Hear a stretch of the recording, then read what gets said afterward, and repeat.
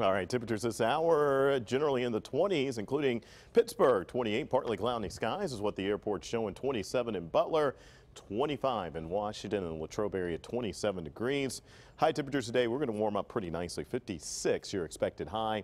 Uh, late day showers really into the overnight hours. We are going to be tracking those and we can't rule out even before that uh, an isolated shower here or there. Here's how I think your day breaks down. We'll put the noon temperature uh, right there at 48. You notice the green shading. This is something new with our weather graphics that we have and that's just going to tell you when our rain chances are going to be on this timeline that we've already matched out. So you can see right at around 2 o'clock or so, we do have a small chance for some rain as a warm front is expected to slide through our area. Notice what happens. Our temperature continues to go up through about 6 or 7 o'clock behind the warm front. So even after it is set to arrive, the warm front, uh, even after the sun goes down, temperatures will keep going up. 54 at 4, 54 also at 8.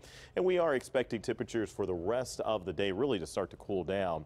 Uh, not just today, but even into Friday. Temperatures will likely be going down. Quick look, you can see uh, what's going on. Nothing out there on radar right now, but we do have some rain to our west. That's what's expected to be here tonight with just a cold front that slides through between about 2 and 4 o'clock brings us our best chance for rain doesn't look like it's going to be much. Now, un, uh, unlike today, our Saturday chance for rain looks like it's going to be better. And not just rain, snow chances as well. We'll zoom in, just kind of show you that we are going to be expecting some areas, we'll say mainly north of I-80, Saturday late afternoon to see some rain showers before it changes over to some, should say some snow showers before it changes over to rain.